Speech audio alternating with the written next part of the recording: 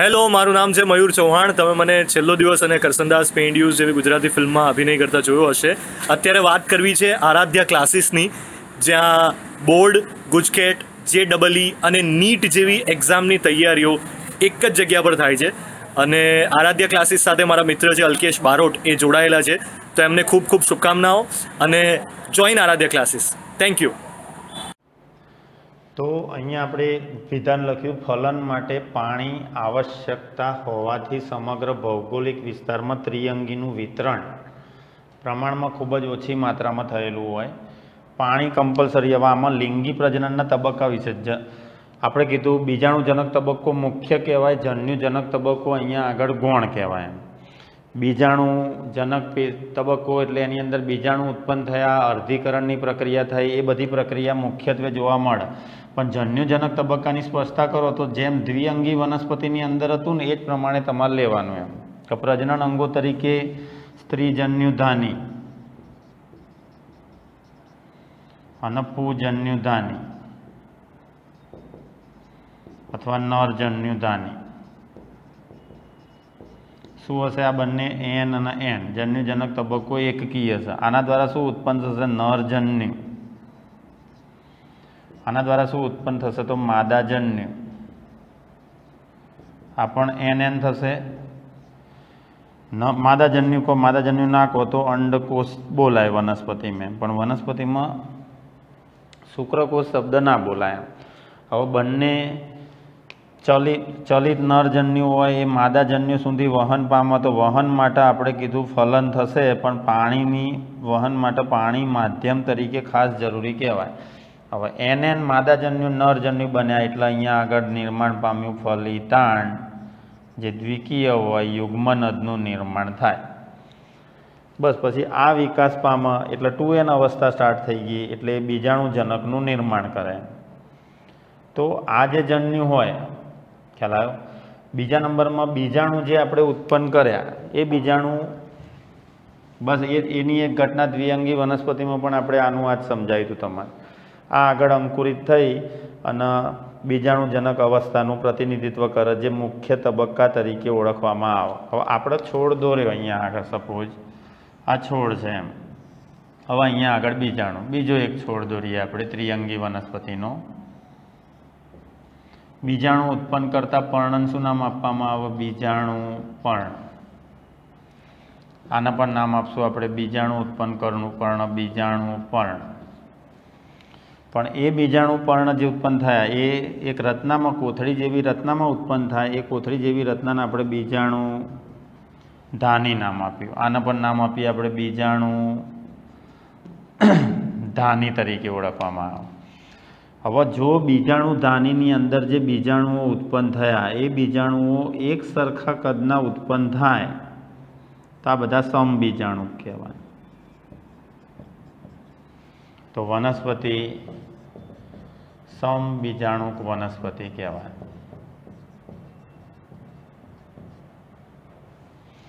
અને જો બીજાણુ અહીંયા આગળ ઉત્પન્ન થયા, શું ફરક છે તમારે મને કહેવાનું?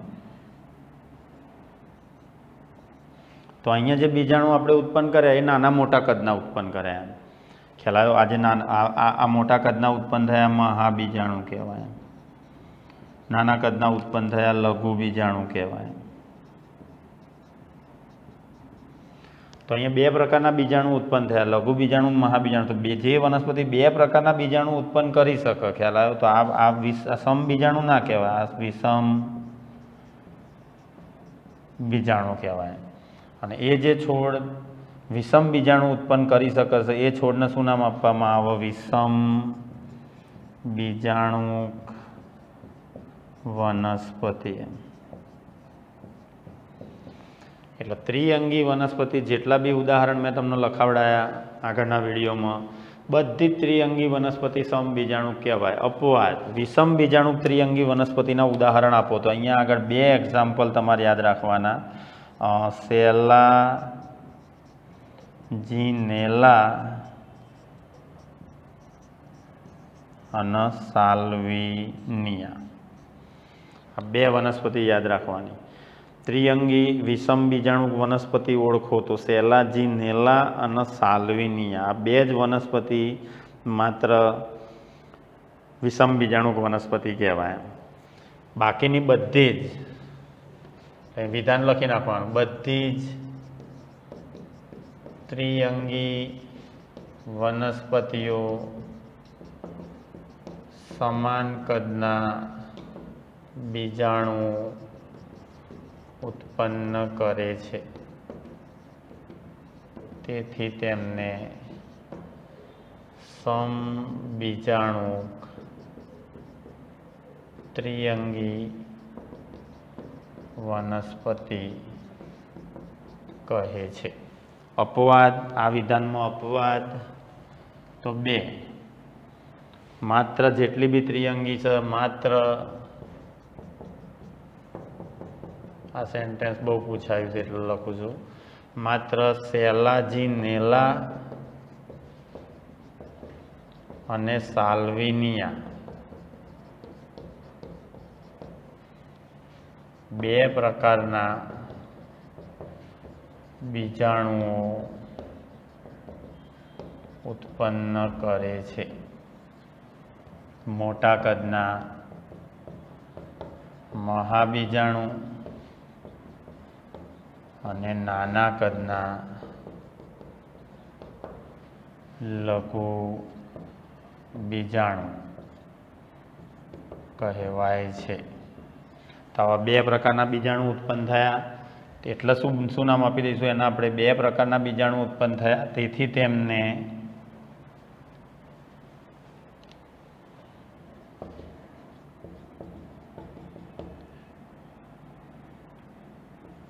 વિષમ બીજાણુક ત્રિઅંગી વનસ્પતિ કહે છે. બસ આ બે સેન્ટેન્સ મોસ્ટ આઈએમપી યાદ રાખવાના, ત્રિઅંગી વનસ્પતિની અંદર. બધી ત્રિઅંગી વનસ્પતિ સમાન કદના બીજાણુ ઉત્પન્ન. આ એમસીયુ કઈ રીતે આપ વનસ્પતિના ઉદાહરણ આપેલા છે? એમાંથી સમ બીજાણુક ત્રિઅંગી વનસ્પતિની સંખ્યા કેટલી? વિષમ બીજાણુક ત્રિઅંગી વનસ્પતિની સંખ્યા કેટલી? જેમ કે નીટ ક્વેશ્ચન તમારી સમક્ષ રજૂ કરીએ આપણે.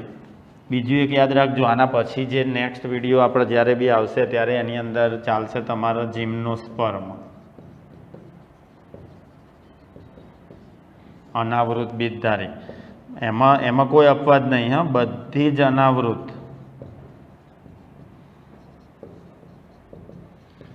વિષમ બીજાણુક છે. બધી જ અનાવૃત વિષમ બીજાણુક છે. આ સેન્ટેન્સ યાદ રાખી લેવાનું. ત્રિઅંગીમાં અપવાદ કિસ્સા બે આવ્યા તો નીટનો ક્વેશ્ચન આ રીતનો નીટનો ક્વેશ્ચન આવ્યો સપોઝ વનસ્પતિઓ આપેલ છે. તેમાંથી વિષમમાં સોરી સમબીજાણુક ત્રિઅંગી, વનસ્પતિઓની સંખ્યા કેટલી? આ ટાઈપનો ક્વેશ્ચન આવ્યો. વનસ્પતિઓ આપેલી છે તો હંસરાજ, એઝોલા સાલ્વિનિયા એડિયન્ટમ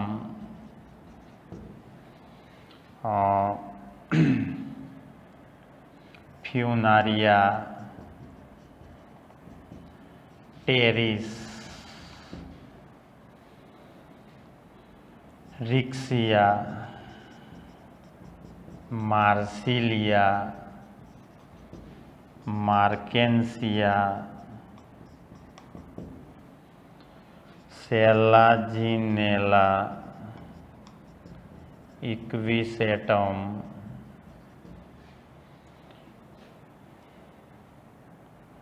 લાઇકોપોડિયમ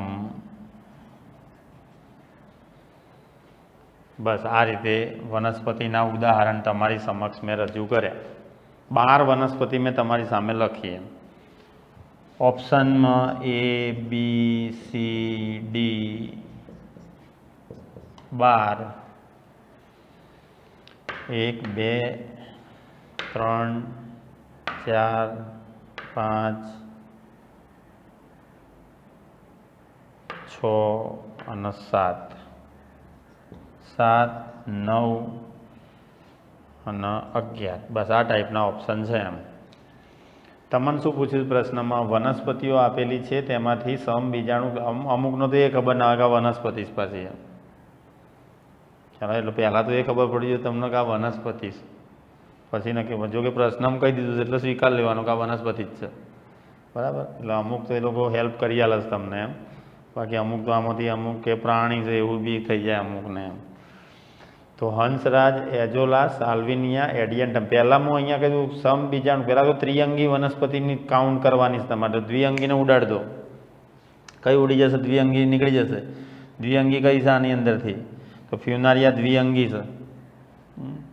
ફ્યુનારિયા મોસિસમાં આવે. ફ્યુનારિયા નીકળી. રિક્સિયા પણ દ્વિઅંગી વનસ્પતિ છે એમ. માર્કેન્સિયા દ્વિઅંગી વનસ્પતિ છે એમ. તો દ્વિઅંગી વનસ્પતિ નીકળી ગઈ એમ. આપણે ત્રિઅંગી કાઉન્ટ કરવાની છે. ત્રિઅંગી બાકી અવજે જે બચી બધી ત્રિઅંગી. પણ એ ત્રિઅંગીમાં સમ બીજાણુક લેવાની. વિષમ બીજાણુક બે જ કીધી મેં. સેલા અને સાલ્વિનિયા સેલા જીનેલા સાલ્વિનિયાને કાઢ નાખો. સેલા જીનેલા નીકળી ગયું સાલ્વિનિયા નીકળી ગયું. શું બચ્યું એમ? એક, બે, ત્રણ, ચાર, પાંચ, છ સાત. જવાબ રહેશે આનો સેવન એમ.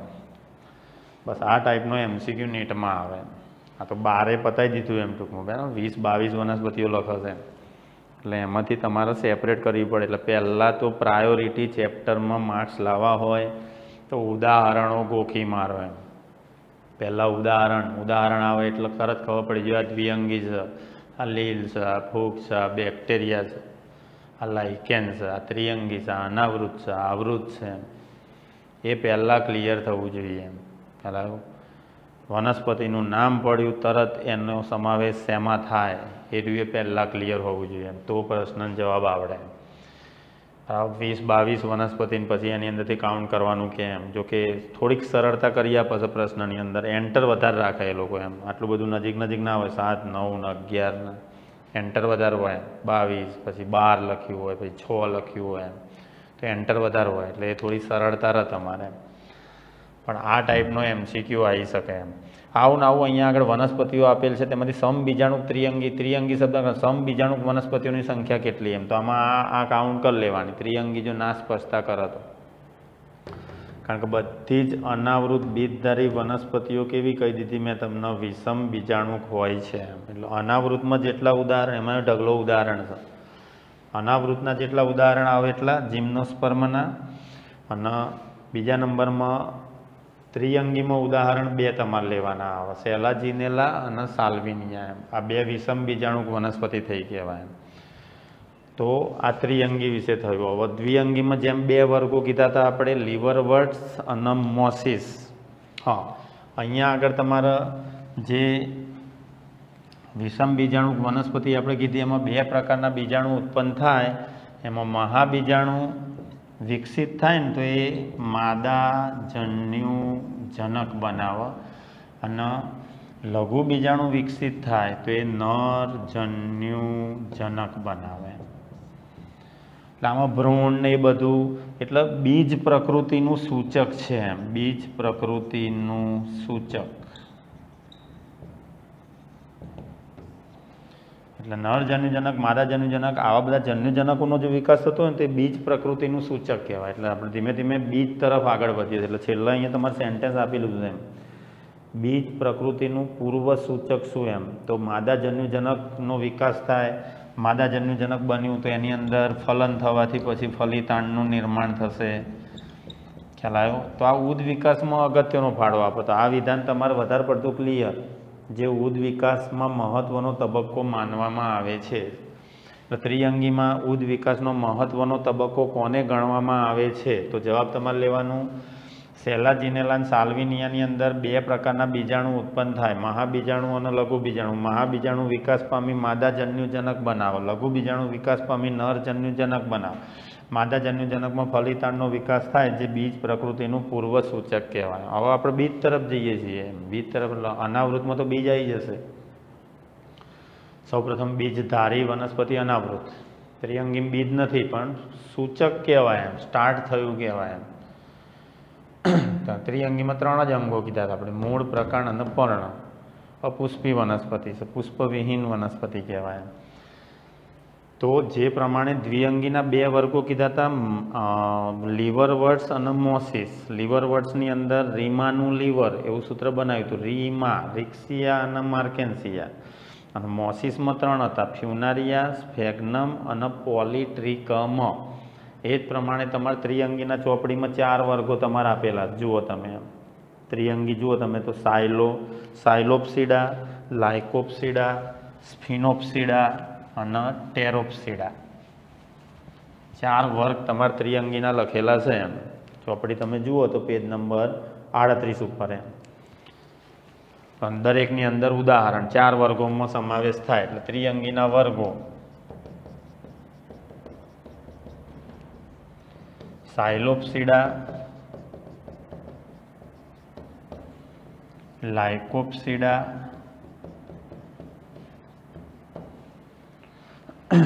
સ્ફિનોપ્સિડા અને ટેરોપ્સિડા.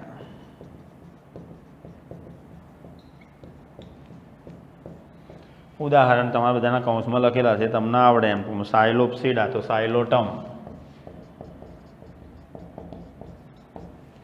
આપલા ઉદાર ઉદાહરણમાં ઉતાર દેજો. સાયલોટમ કદાચ લખાયું નહીં મેં. શરૂઆતમાં લીધું ને ત્યારે ત્રિઅંગી વનસ્પતિના ઉદાહરણો એમ. એની અંદર સાયલોટમ ઉમેર દેજો એમ લાઇકોપોડિયમ આ તો લખી નાખીશું આપણે. Selaginella. Equisetum. Pteris.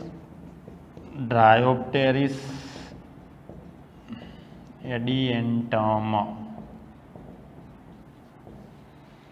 તો આટલા ઉદાહરણ થયા કહેવાય. એક, બે, ત્રણ, ચાર, પાંચ, છ સાત એક્ઝામ્પલ તો અહીંયા થઈ ગયા તમારે. આ સિવાય કયા ઉદાહરણ તમારું ઉમેરવા? આ વર્ગો વર્ગ વાઇઝ એમ. તો ત્રિઅંગીના મુખ્ય ચાર વર્ગોના નામ આપો તો સાયલોપસીડા, લાયકોપસીડા, સ્ફિનોપસીડા અને ટેરોપસીડા. દરેકમાં એક્ઝામ્પલ આપણે કૌંસમાં લખ્યા. તો આ સાત ઉદાહરણ તો તમારા ત્રિઅંગીના થયા જ. આ સિવાય કયા કયા ઉદાહરણ તમારા ત્રિઅંગીની અંદર એક્સ્ટ્રા યાદ રાખવાના? તો એક્સ્ટ્રા ઉદાહરણની અંદર સાત ઉદાહરણ વત્તા એઝોલા. હંસરાજ. માર્સિલિયા. અ,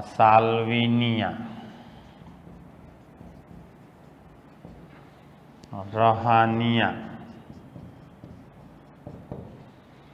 તો સાત આઠ નવ દસ અગિયાર બાર ઉદાહરણ તમારે થયા કહેવાય ત્રિઅંગી વનસ્પતિના ઉદાહરણ ખાલી યાદ રાખવાના બાર ઉદાહરણ એમ માર્સિલિયા માર્કેન્સિયા નહીં લેવાનું પછી માર્કેન્સિયા દ્વિઅંગી વનસ્પતિ છે માર્સિલિયા આવવું જોઈએ એમ તો ટોટલ બાર ત્યાં આગળ પાંચ ઉદાહરણ દ્વિઅંગીના હતા. અહીંયા આગળ બાર ઉદાહરણ. પણ બાર ઉદાહરણમાંથી યાદ રાખવાનું, બે ઉદાહરણ એવા છે જે વિષમ બીજાણુક છે અને દસ ઉદાહરણ એવા લઈ લેવાના જે સમબીજાણુક કહેવાય. વિષમ બીજાણુક ત્રિઅંગીમાં આપણે ત્રણ કહી દીધી એમ ટૂંકમાં. સેલાજીને બે કહી દીધી એમ. સેલાજીનેલા અને સાલ્વિનિયા. તો દ્વિઅંગીના વર્ગો અને એ દરેક વર્ગમાં સમાવિષ્ટ વનસ્પતિ યાદ રાખી લેવાની. આખે આખું તમારા બીજાણુજનક તબક્કો, જન્યુજનક તબક્કો, એ એનું જીવન ચક્ર, સંતતિઓનું એકાંતર જનન આમાં પણ જોવા મળે. પણ દ્વિઅંગી કરતાં ઊંધું છે એમ. દ્વિઅંગી વનસ્પતિમાં જન્યુજનક તબક્કો મુખ્ય સ્વાવલંબી, બીજાણુજનક તબક્કો ગૌણ પરાવલંબી. ત્રિઅંગી વનસ્પતિમાં ઊંધું. બીજાણુજનક તબક્કો મુખ્ય હોય સ્વાવલંબી હોય અને જન્યુજનક તબક્કો ગૌણ હોય અને પરાવલંબી હોય. તો ત્રિઅંગી વનસ્પતિના ચારે ચાર વર્ગો. હોમવર્કમાં મેં તમને શું આપ્યું? તો આ તમારે જાતે બનાવવાનું એમ. તો ત્રિઅંગી વનસ્પતિમાં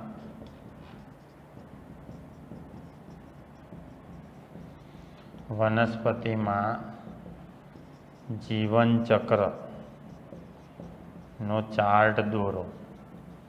આ જાતે બનાવવાનો. બંને તબક્કા લઈ લેવાના તમારે. જન્યુજનક અને બીજાણું જનક. પણ સ્ટાર્ટ આનથી કરવાના તબક્કા, કારણ કે આ મુખ્ય તબક્કો છે. દ્વિઅંગીમાં સ્ટાર્ટ આનથી કર્યું હતું કારણ કે મુખ્ય તબક્કો હતો એમ. આનથી સ્ટાર્ટ કરવાનું, આનથી અંત. આનથી સ્ટાર્ટ કરવાનું, આનથી અંત થાય તો એ આ આ બંને તબક્કા જીવનમાં એકાંતરે જોવા મળે છે. એના શું નામ આપેલું છે? આપણે સંતતિઓનું એકાંતર જનન.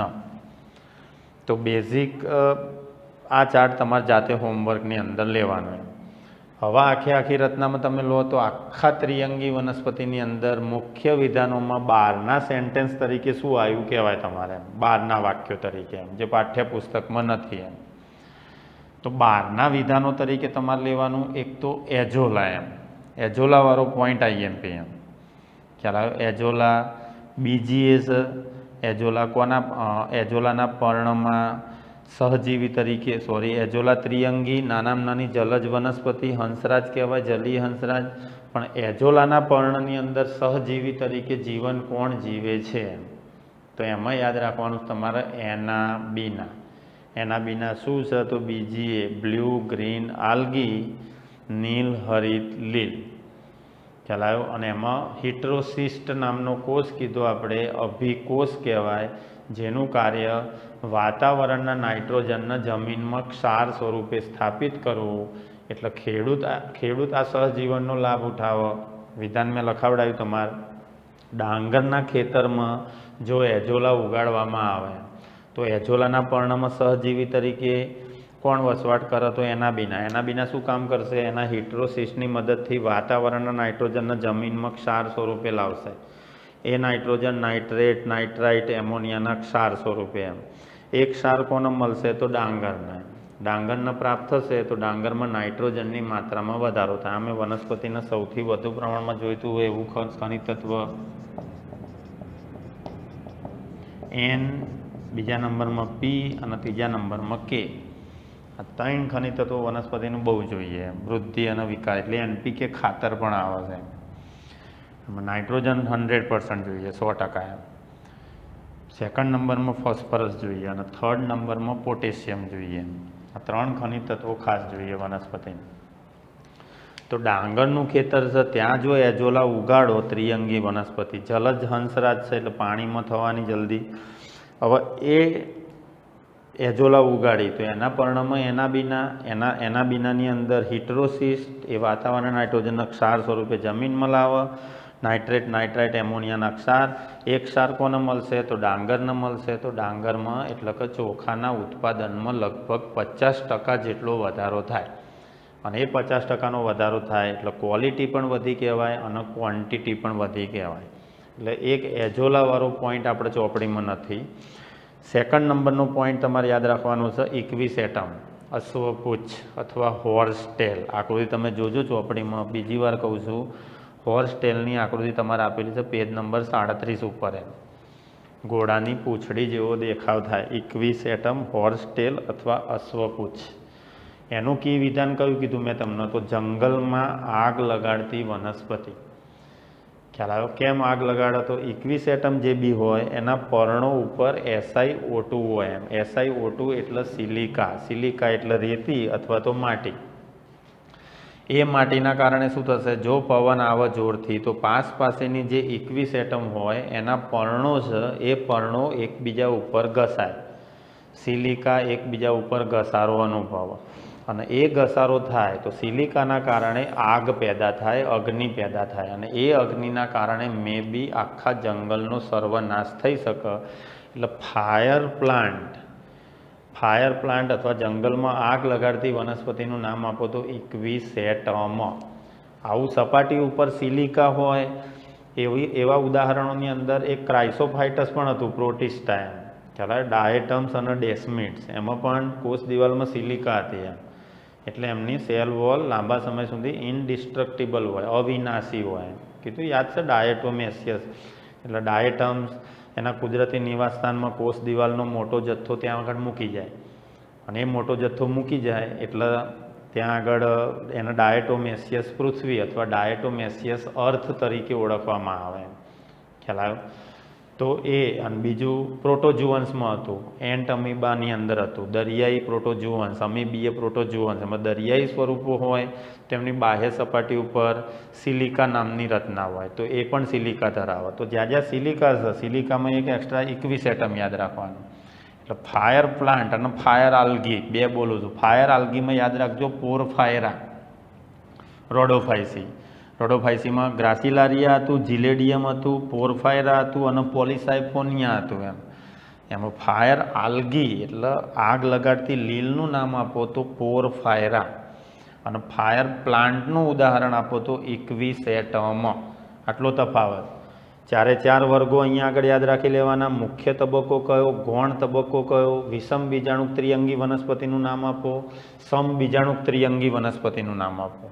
ખ્યાલ આવ્યો? અને પ્રશ્ન મેં નીટનો એક તમારી સમક્ષ રજૂ કર્યો એમ. કઈ રીતે આ ક્વેશ્ચન પૂછી શકાય? તો વનસ્પતિઓ આપેલી છે, એમાંથી સમ બીજાણુક ત્રિઅંગી વનસ્પતિની સંખ્યા કેટલી? વિષમ બીજાણુક ત્રિઅંગી વનસ્પતિની સંખ્યા કેટલી? અને ટોટલ ઉદાહરણ થયા કહેવાય, જે તમારા આપેલા છે, પ્લસ એક્સ્ટ્રા એક્સ્ટ્રાની અંદર એક આ ઉદાહરણ તમારે નથી, રહાનિયા તમારે નથી, માર્સિલિયા નથી આપેલું બુકની અંદર. આટલા ઉદાહરણ તમારે નથી લખેલા એમ. તો આ ત્રણ ઉદાહરણ તમારે ચોપડીની અંદર લખી નાખવાના. એઝોલા વિશે એક્સ્ટ્રા લઈ લખવાનું કે નાનામાં નાની જલીય હંસ રાજ છે, સૌથી નાની વનસ્પતિ અને ડાંગરના ખેતરમાં ડાંગરના ઉત્પાદનમાં પચાસ ટકાનો વધારો કરવા માટે જવાબદાર વનસ્પતિ છે.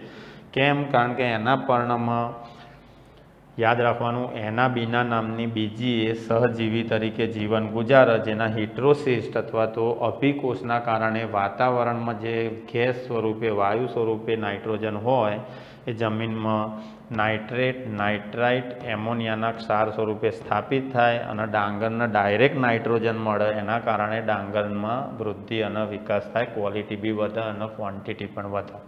તો આ સાથે અહીંયા ત્રિઅંગી વનસ્પતિ ટેરિડોફાઇટા સંપૂર્ણપણે પૂર્ણ થઈ ગયું. ચેપ્ટર લગભગ એન્ડિંગમાં આવ્યું કહેવાય હવે બે જ વર્ગો તમારે બાકી રહ્યા કહેવાય. એક અનાવૃત બીજધારી અને એક આવૃત બીજધારી. એટલે બે વિડીયોમાં ચેપ્ટર ક્લોઝ થઈ જશે. નેક્સ્ટ વીડિયો આપણે ભણશું અનાવૃત બીજધારી. આજે આટલું રાખીએ. પ્રણામ.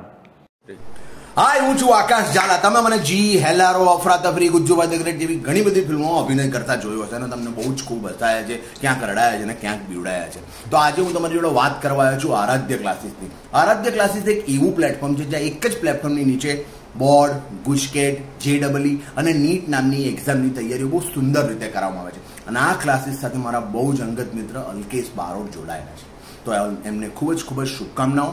અને હું તમને બધાને બહુ જ વિનંતી કરું છું કે પ્લીઝ જોઈન આરાધ્ય ક્લાસીસ